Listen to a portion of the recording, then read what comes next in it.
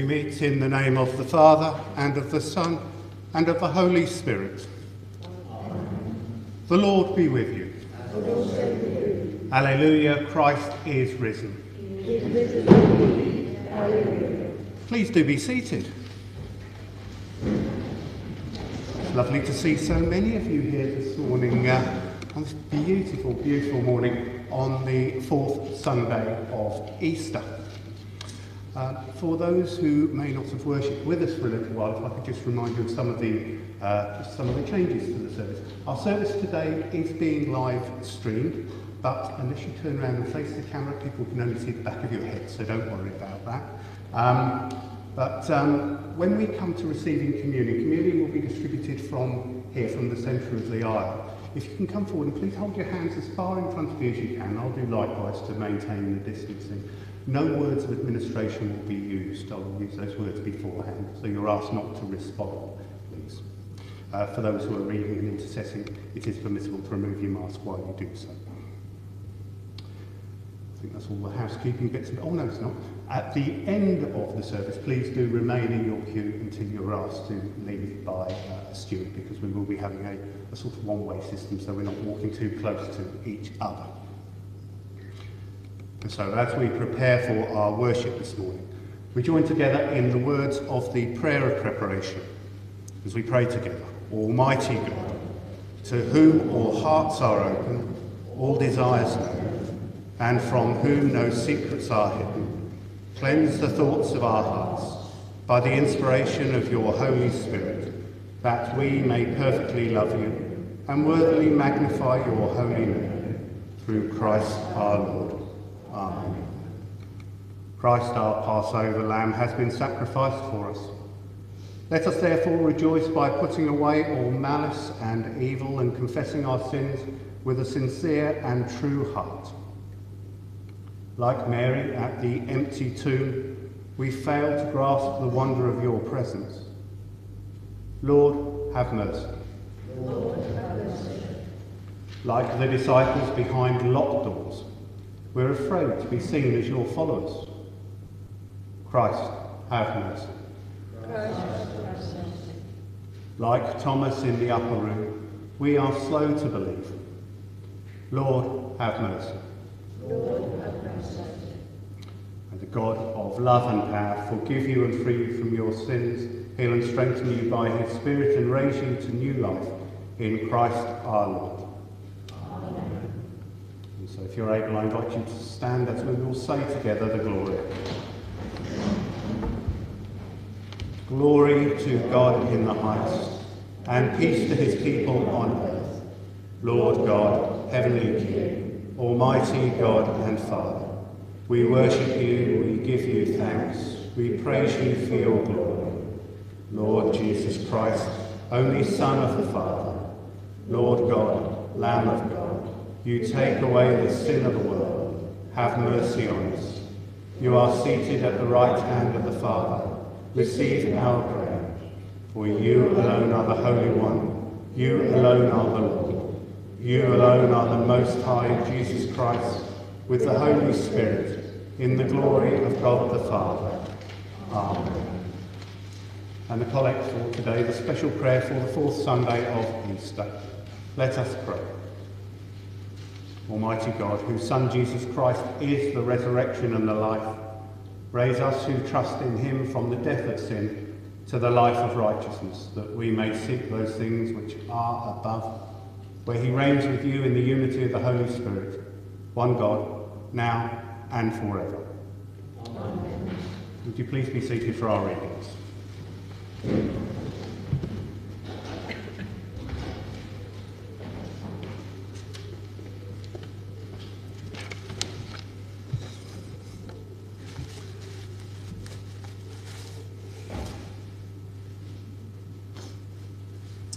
First reading is taken from Acts of the Apostles, chapter 4. the next day, their rulers, elders, and scribes assembled in Jerusalem with Annas the high priest, Caiaphas, John, and Alexander, and all who were of the high priestly family. When they had made the prisoners stand in their midst, they inquired, By what power or by what name did you do this? Then Peter, filled with the Holy Spirit, said to them, Rulers of the people and elders, if we are questioned today because of a good deed done to someone who was sick and are asked how this man has been healed, let it be known to all of you and to all the people of Israel that this man is standing before you in good health by the name of Jesus Christ of Nazareth, whom you crucified, whom God raised from the dead. This Jesus is the stone that was rejected by you, the builders. It has become the cornerstone.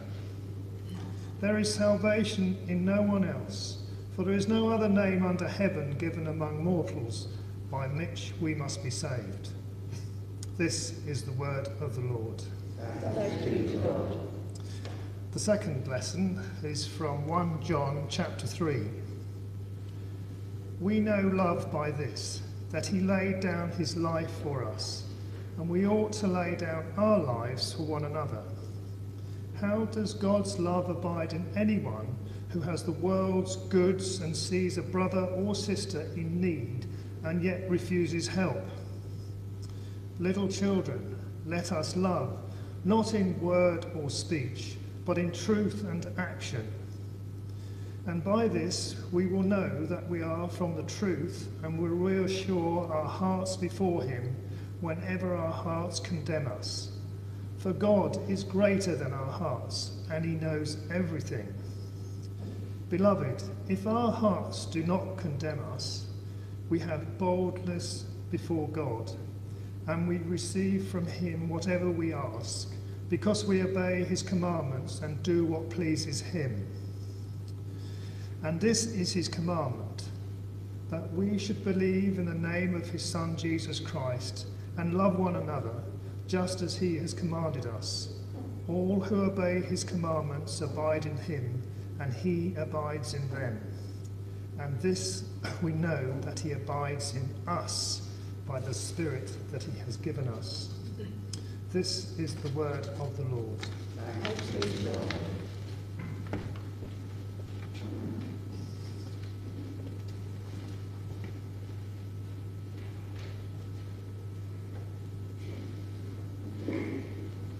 If you're able, would you please stand for our gospel reading? Alleluia, alleluia. I am the first and the last, says the Lord, and the living one. I was dead, and behold, I am alive for evermore. Alleluia. The Lord be with you. And also with you. Hear the Holy Gospel of our Lord Jesus Christ according to St. John. Glory to you, Lord. I am the Good Shepherd. The Good Shepherd lays down his life for the sheep. The hired hand, who is not the shepherd and does not own the sheep, sees the wolf coming and leaves the sheep and runs away, and the wolf snatches them and scatters them. The hired hand runs away because the hired hand does not care for the sheep. I am the good shepherd. I know my own and my own know me, just as the Father knows me and I know the Father. And I lay down my life for the sheep. I have other sheep that do not belong to this fold. I must bring them in also, and they will listen to my voice. So there will be one flock, one shepherd. For this reason the Father loves me, because I lay down my life in order to take it up again. No one takes it from me, but I lay it down of my own accord. I have the power to lay it down, and I have power to take it up again. I have received this command from my Father. This is the gospel of the Lord. Praise to you. And so may I speak in the name of the living God, who is Father, Son, and Holy Spirit.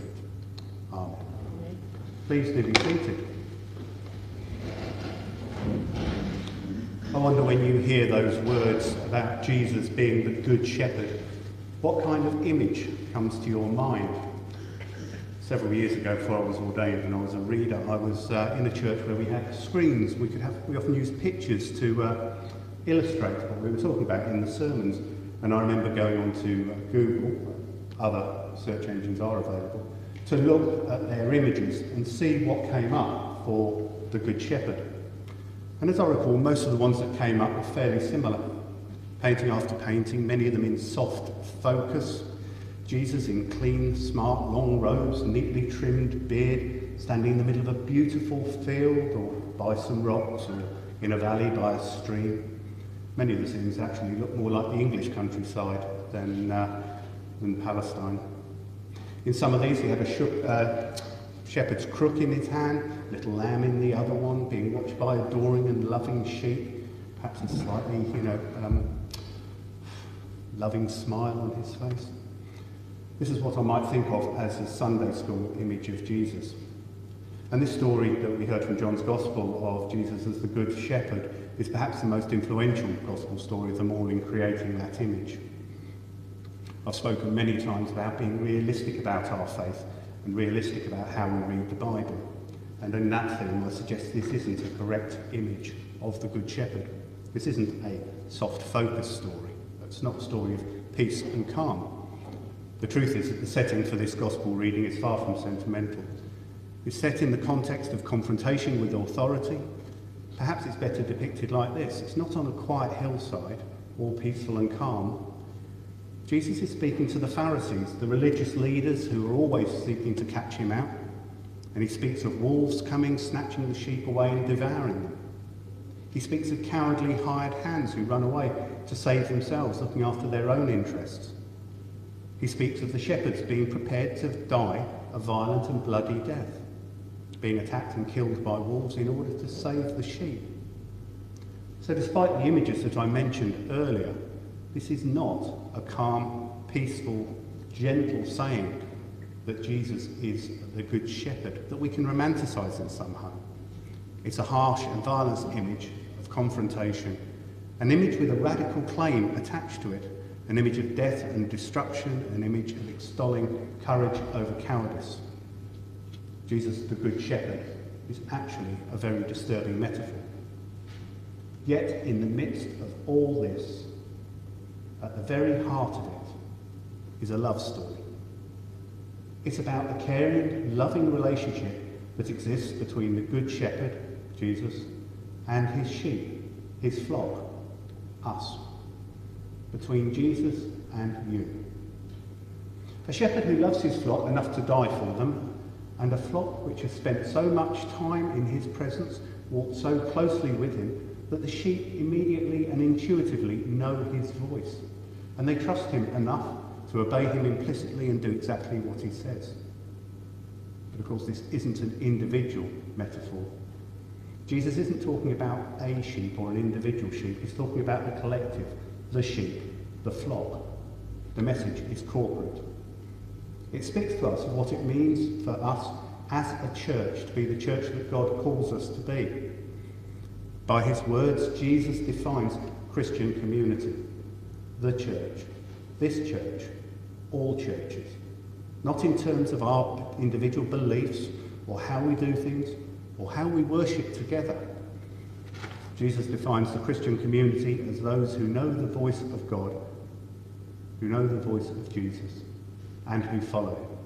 Stay close to him, live in relationship with him, and obey his will.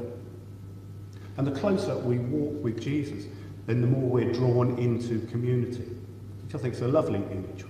Walking with God, being part of a community. But as we reflect on this notion of community, the idea of being one flock, we find the great challenge in this passage.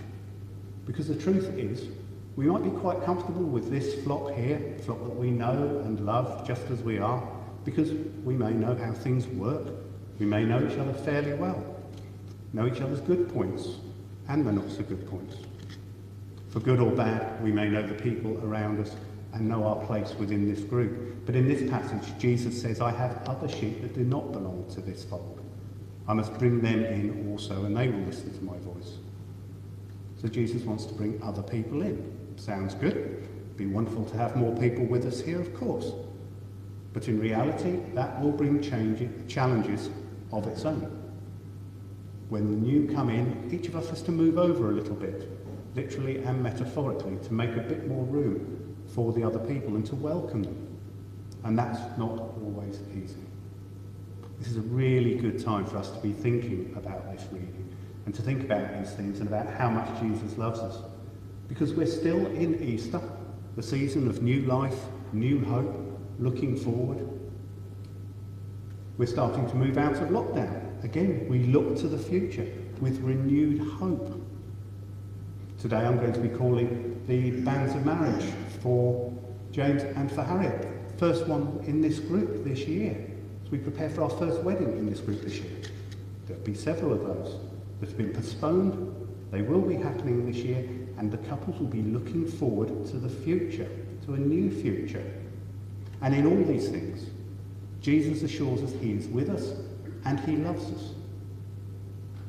I spoke earlier and I've spoken several times recently, as I said, about being real in our faith. And I've preached some quite challenging, quite complicated sermons, but not today. Today is a simple message, and the reality is simple, and it is this. We are so greatly loved by Jesus, the Good Shepherd, that he was prepared to lay down his life for us. That's it. You are so greatly loved by Jesus, the Good Shepherd, that he was prepared to lay down his life for you. Amen.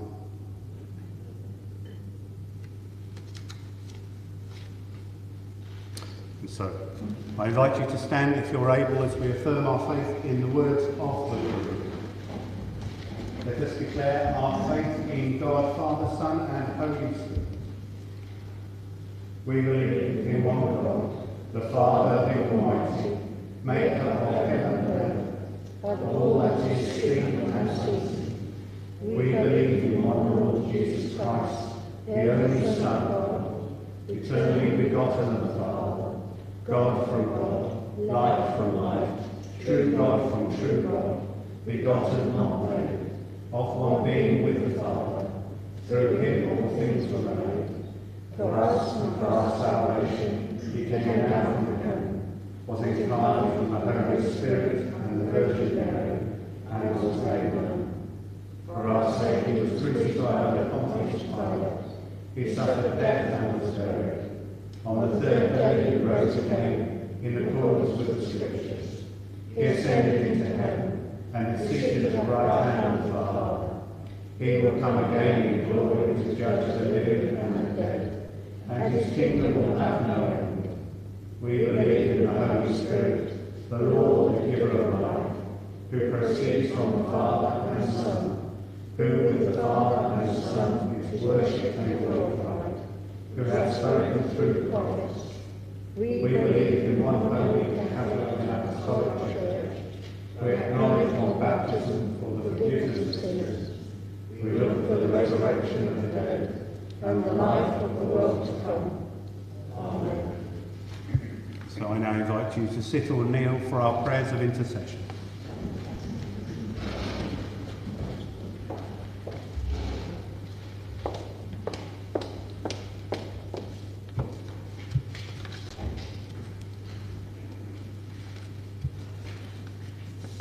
Prayers of on the fourth Sunday of Easter.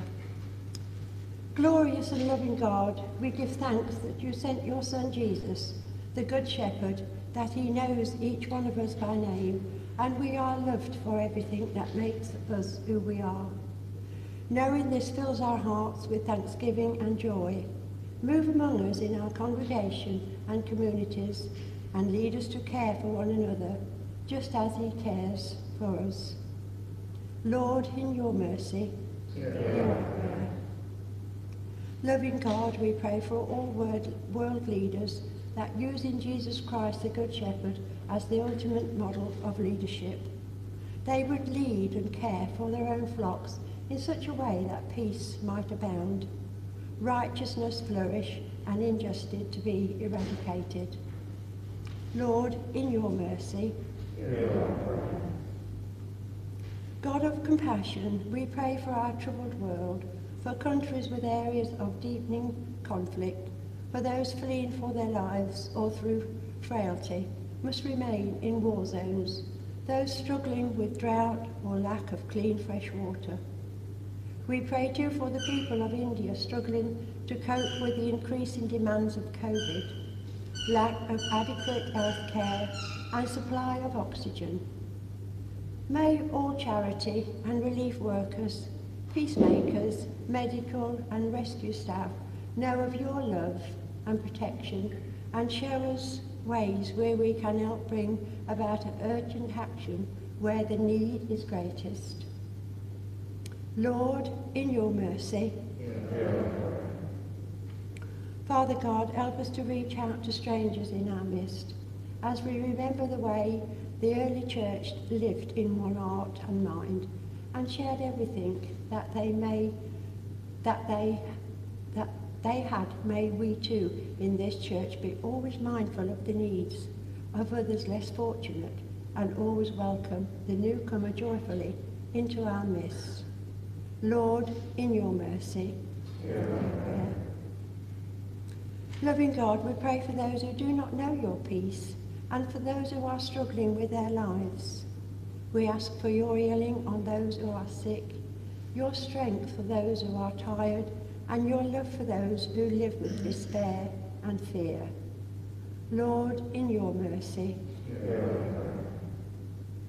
Gracious God, we pray for those who now walk in the valley of the shadow of death.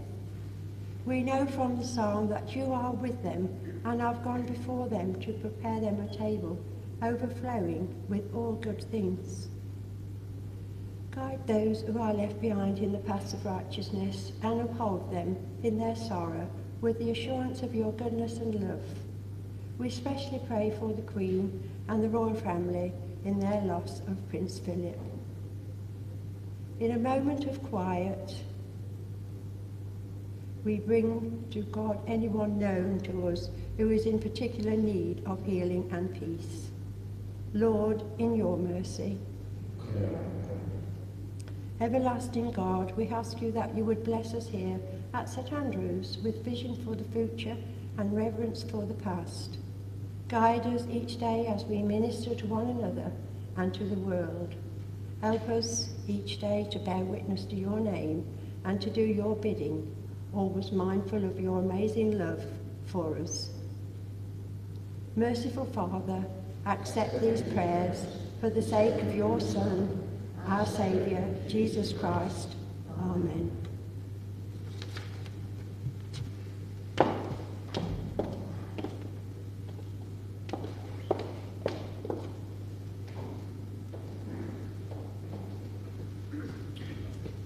And so if you're able, I invite you to stand as we prepare to share the peace. Obviously, we uh, can't shake hands peace or hug those in our household or our immediate groups, but we can still or smile face covered, however you would like to share the peace. The risen Christ came and stood among his disciples and said, Peace be with you. Then were they glad when they saw the Lord. Alleluia.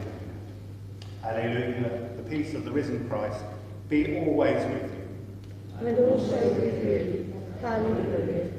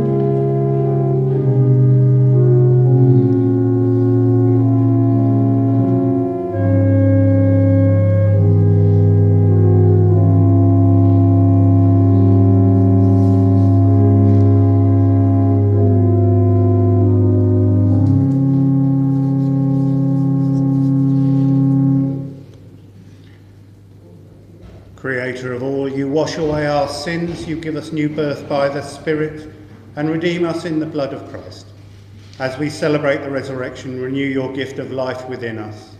We ask this in the name of Jesus Christ, the risen Lord. Amen.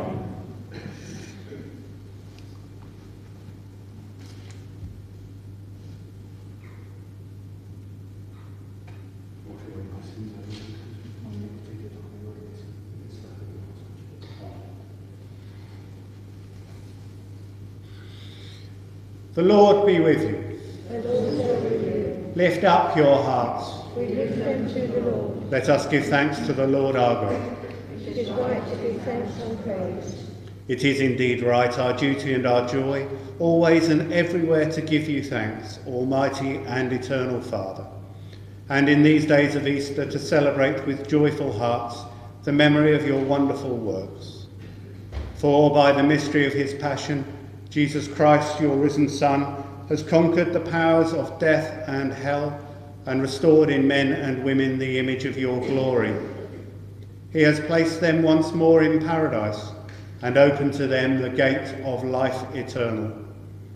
And so, in the joy of this Passover, earth and heaven resound with gladness, while angels and archangels and the powers of all creation sing forever the hymn of your glory as we say, Holy, holy, holy Lord, God of power and might.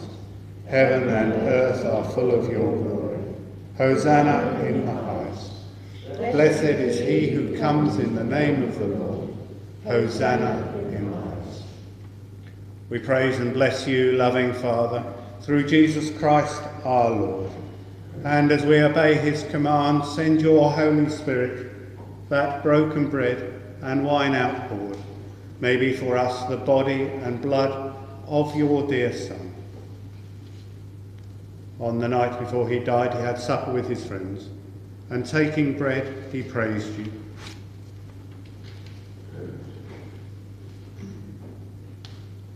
He broke the bread, gave it to his disciples, saying, Take, eat, this is my body, which is given for you. Do this in remembrance of me.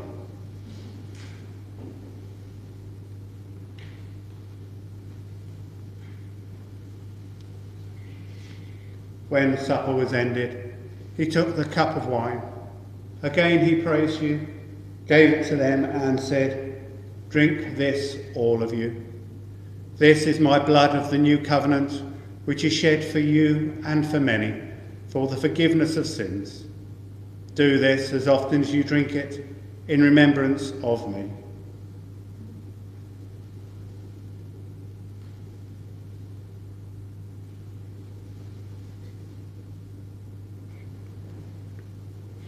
So, Father, we remember all that Jesus did.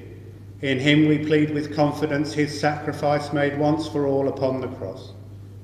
Bringing before you the bread of life and cup of salvation, we proclaim his death and resurrection until he comes in glory.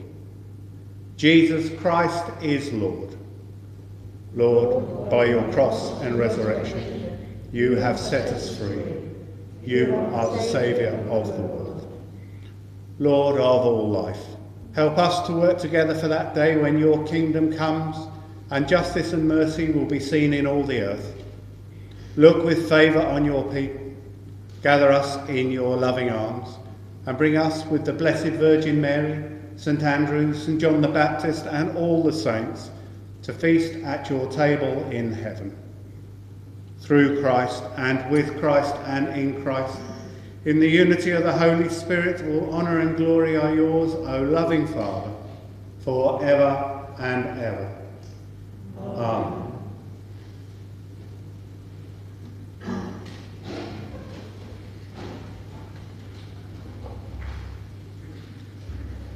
Rejoicing in God's new creation, let us pray with confidence as our Saviour has taught us.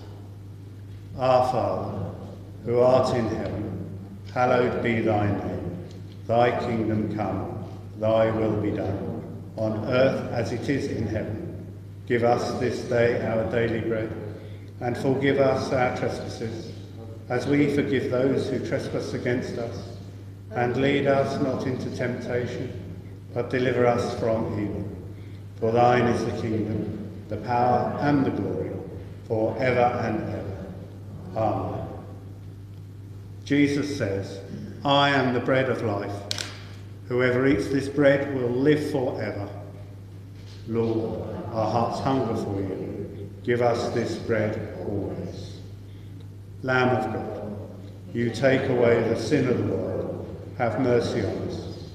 Lamb of God, you take away the sin of the world. Have mercy on us. Lamb of God, you take away the sin of the world. Grant us peace.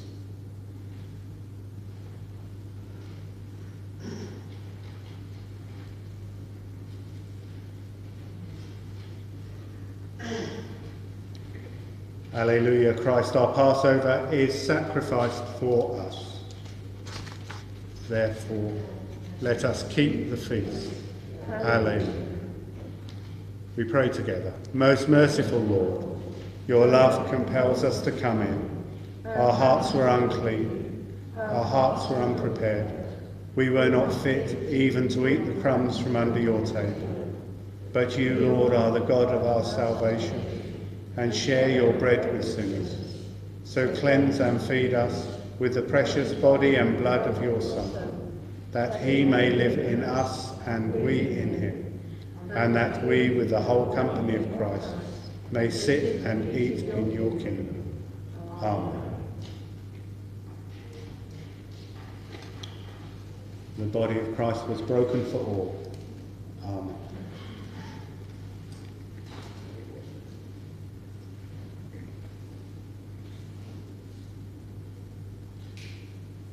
The blood of Christ was shed for all. Amen.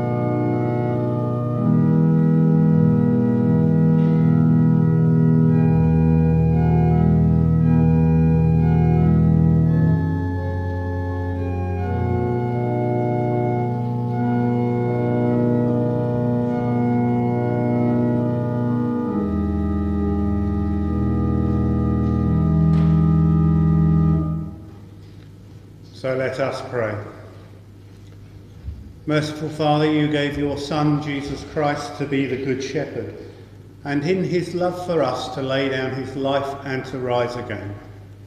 Keep us always under his protection and give us grace to follow in his steps. Through Jesus Christ our Lord. Amen. We pray together. Father of all, we give you thanks and praise that when we were still far off, you brought us in your Son and brought us home. Dying and living, he declared your love, gave us grace, and opened the gate of victory. May we who share Christ's body live his risen life. We who drink his cup bring life to others. We whom the Spirit lights give light to the world. Keep us firm in the hope you have set before us, so we and all your children shall be free, and the whole earth live to praise your name, through Christ our Lord. Amen.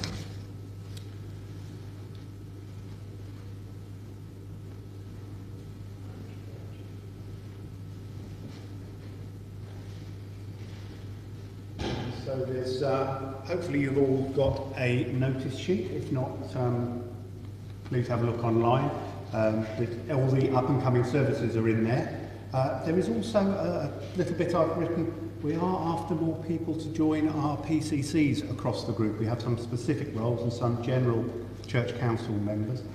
As I say to people often, um, this is your church and uh, it's the people that run the church council. So please, if, if you're not on a PCC and think you may be able to, have a word with me or one of your uh, church wardens at whichever church you worship in. Yep.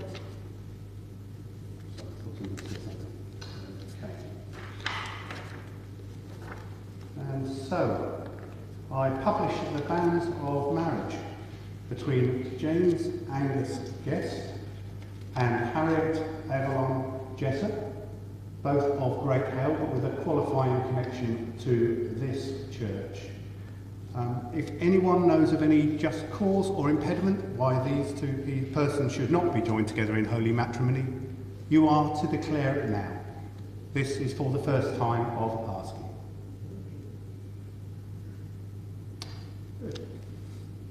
And so let us pray. Lord of life, the source of true love, we pray for James and Harriet as they prepare for their wedding. Be with them in all their preparations. Give them your love in their hearts as they enter into the oneness of marriage. May they be strengthened and guided by you throughout their married life together. Through Jesus Christ our Lord. Amen.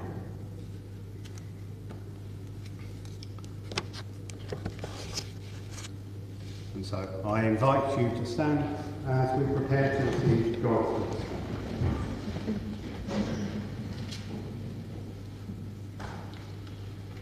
God the Father, by whose love Christ was raised from the dead, open to you who believe the gates of everlasting life. Amen. God the Son, who in bursting the grave has won a glorious victory, give you joy as you share the Easter faith. Amen. God the Holy Spirit, who filled the disciples with the life of the risen Lord, empower you and fill you with Christ's. And the blessing of God Almighty, the Father, the Son, and the Holy Spirit be among you and remain with you always. Amen. So go in the peace of Christ. Alleluia, alleluia. Thanks, be to God. Alleluia, alleluia.